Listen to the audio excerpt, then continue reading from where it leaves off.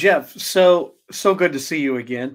Um, Likewise. So I'm, I'm I'm deeply interested in your podcast because it goes far beyond shooting from what I've seen and mm-hmm. understand mm-hmm. of it.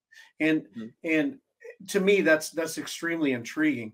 Are you finding that your podcast and the guests that, that come on are they also do, do they look far outside the gun community? That's what I'm seeing, but it, are you looking to take it far beyond just the gun community? Is that where you're going with this?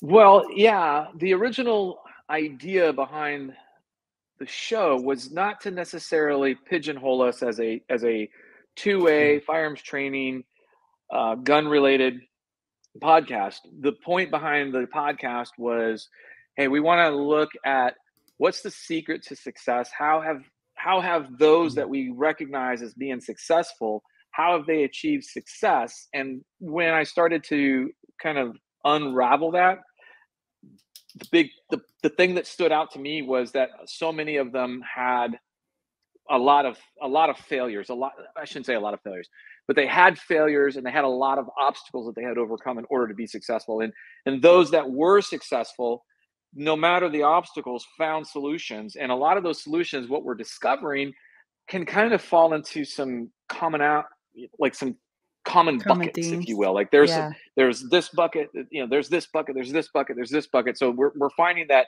these successful people either have combinations of the buckets or they kind of reside in a single bucket as far as what they were doing to be successful so.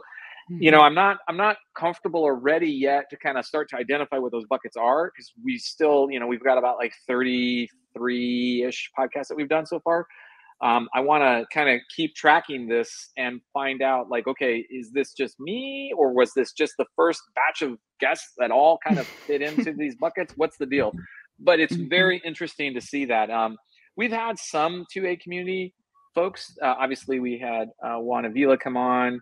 He uh, obviously is the captain of AR15.com. He's kind of steered that ship we've had some other folks from within the industry and and it's not like we're excluding the industry from from coming on board it's just that's not a precursor to being being invited uh, you know mm-hmm. really what we're looking for are those that have and i'm not talking about success through a silver spoon i'm talking about those that really had to uh, overcome some challenges that maybe the general public you know the, the the idea that i had in my head is that somebody could be in a situation where they are confronting a lot of difficulties, uh, challenges, whatever you want to call them.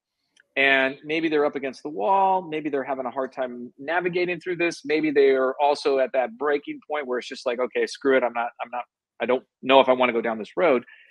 And so by identifying some of these key characteristics from successful people and sharing that information with the general audience, the hope is that, oh, wait a minute, uh, I can do that. That's something that, you know, that's I could I could figure out. I could I can do that. And so it's kind of like bringing the secret sauce, if you will, to the general public when mm-hmm. it comes to those that have been recognized as successful. And we define success in a very broad stroke. It's not necessarily right. a monetary value right. or the number mm-hmm. of likes that you have.